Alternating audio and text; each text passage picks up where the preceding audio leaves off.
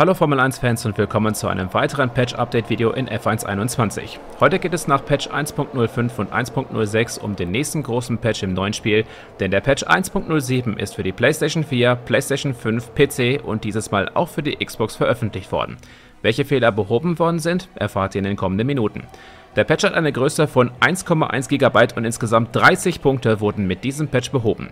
Das ist speichertechnisch bisher der größte Patch, der veröffentlicht wurde, denn die vorherigen Patches hatten 513 und 352 MB. Wie auch beim letzten Mal könnt ihr mir gerne eure Bugs in die Kommentare schreiben und wer das letzte Patch-Video verpasst hat, kein Problem, guckt mal oben rechts. Wer keine Videos zu Patches, Karriere oder andere Formel 1 Videos verpassen möchte, sollte diesen Kanal abonnieren, das würde mich freuen. Der Link zu den Patch Notes befindet sich in der Videobeschreibung. Beginnen wir als mit den Konsolen, denn es gab in der Vergangenheit einen Fehler mit der Bezeichnung WS10004, was bedeutete, dass Xbox-Spieler an einer Online-Session nicht daran teilnehmen konnten. Im vergangenen Video hatte ich euch erklärt, dass die 3D-Audio für PlayStation 5 Headsets deaktiviert wurde.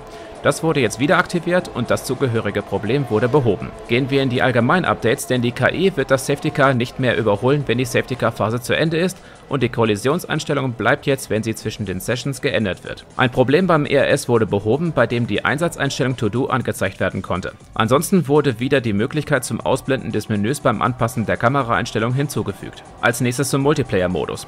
Es wurde ein Problem behoben, wo Spieler auf gewissen Strecken beim Start eine Runde voraus waren. Im Social Play wurde die Option sehr kurz hinzugefügt. On-Demand-Ligen können jetzt den KI-Ersatz deaktivieren.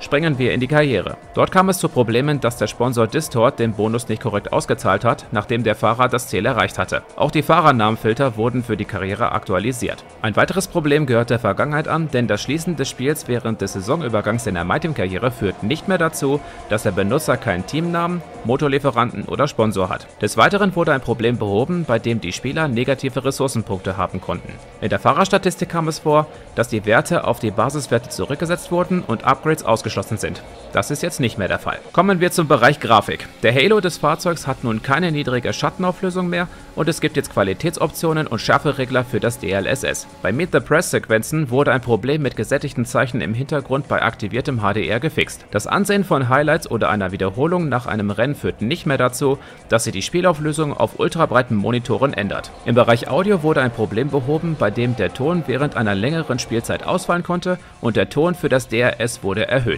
Im Bereich der Steuerung gibt es Neuigkeiten für Besitzer von Fanatec Linkrädern, denn die oberen Pedal des Fanatec Advanced Pedal Moduls werden jetzt korrekt erkannt. Ab zur Telemetrie, denn da gibt es vier UDP-Updates. M-Result Status wird nach Rennende nicht mehr als aktiv angezeigt, die korrekte Rundenanzahl wird jetzt in der Endwertung angezeigt, Informationen zum Session-Verlauf der vorherigen Session werden nach einem Neustart nicht mehr gesendet und Lab History Data werden bei einem aktiven Auto nach einem Ausschalten korrekt gesendet. Im Story-Modus kommt es zu einer Balance bei gleich zwei Schwierigkeitsgraden, die Kapitel 3, 5, 9 und 12 in herausfordernd und die Kapitel 3, 5 und 12 in schwer. In der Formel 2 kam es vor, dass Positionen eines Rennens nach einem Zeitlimit von einer Stunde fehlerhaft vergeben wurden. Das wurde gefixt.